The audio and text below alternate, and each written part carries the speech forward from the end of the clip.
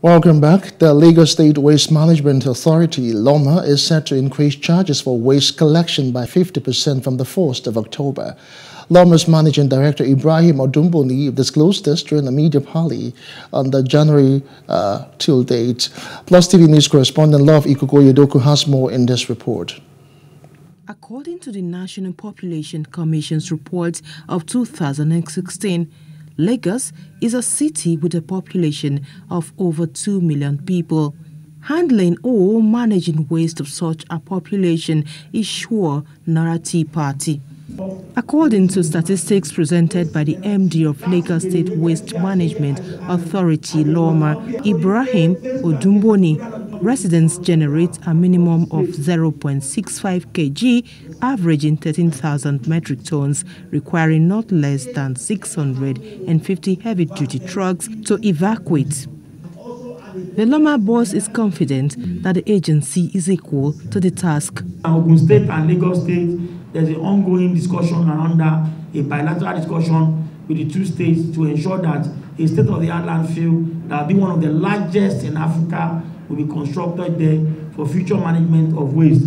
We are going to, I can assure you definitely we are moving away from open dumping and landfilling system because we know that Lagos is surrounded by water, limited by space, and with all the other things that we are introducing to manage and make all our waste our resources is something that we feel is active that we do that.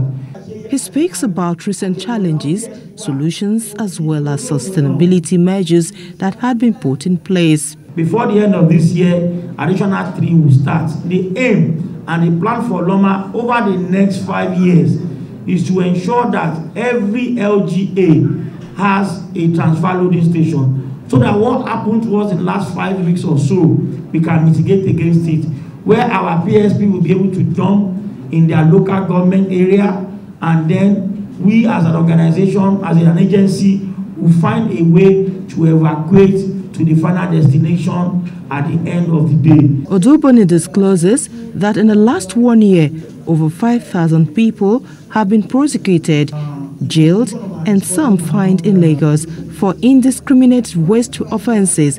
Over the last two months, we have actually seized over 1,400 cats across the state. And we continue to do that to ensure that a much more formal, agreeable, consistent system of disposal of waste is introduced to our society. Dumping of waste on the median of the road. When you see a heap of refuse on the median of the road, majority of them are done by cat pushers.